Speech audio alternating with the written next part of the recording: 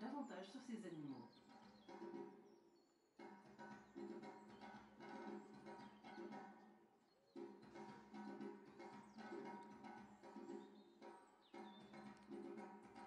Cet espace est l'une des nouveautés 2018 du Zooparc de Bouval.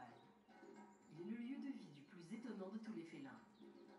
Les guépards vivent dans les milieux ouverts, c'est-à-dire les savanes, les prairies et les régions semi-désertiques. Leur répartition naturelle s'étend sur une large partie de l'Afrique ainsi qu'au Moyen-Orient. Le guépard est après le lion le félin présentant les comportements les plus sociaux. Les mâles peuvent former des coalitions perdurant toute leur vie.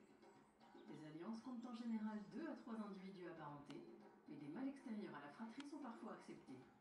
Au sein d'un groupe de mâles, la proximité et les interactions telles que le jeu ou le toilettage sont fréquentes. Ces coalitions